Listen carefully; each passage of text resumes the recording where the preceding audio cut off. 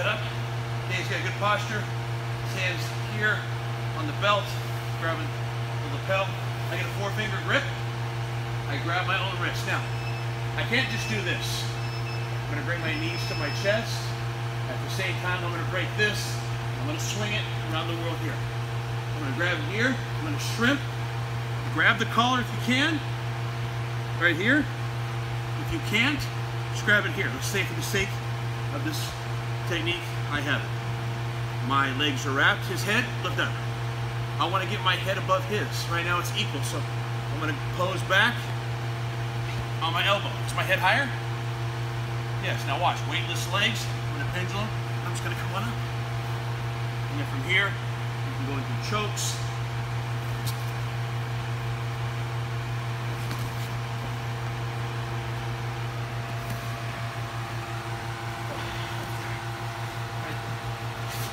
Guys. Let's work on that door.